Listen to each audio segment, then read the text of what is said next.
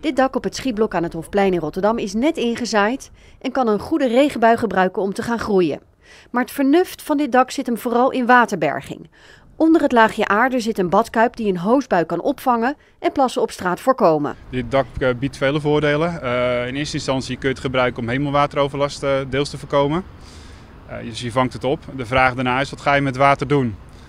Nou, wij proberen dat water zo lang mogelijk vast te houden, want we zien het water als een, als een voedingsstof en niet als een afvalstof.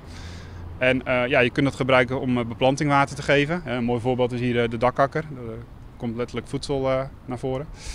Je kunt het ook gebruiken voor, voor koeling. Hè? Want als water verdampt krijg je koeling. Nou, we hebben de afgelopen dagen, weken zelfs warm weer gehad.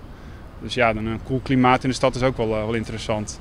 Het is een voorbeeld dat naar meer smaakt voor de nog talloze ongebruikte platte daken in Rotterdam. Ja, kijk, de gemeente Rotterdam heeft al heel veel vierkante meter. Daar doen we inmiddels zo'n 250, 260.000 vierkante meter gebruiken we op een bepaalde manier als groen dak of met zonnepanelen erop.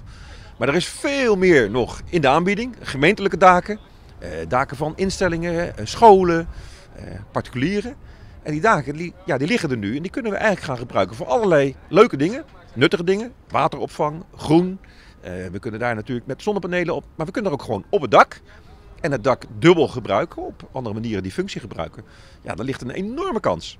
Met de ingebruikname van dit waterdak zijn de Rotterdamse dakendagen geopend. En kunnen mensen dit weekend op vele plekken het dak op. Ja, het is, een hele, het is eigenlijk een stad op dak.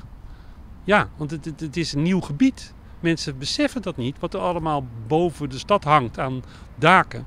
Hier dus, dus een compleet landbouwbedrijf, zal ik het maar even noemen. Maar je hebt natuurlijk ook het dak eh, op de Hofboog, is ook een dak, hè, de oude station.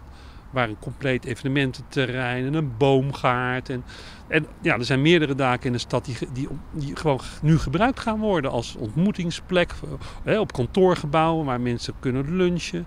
Ja, we ontdekken de stad opnieuw eigenlijk.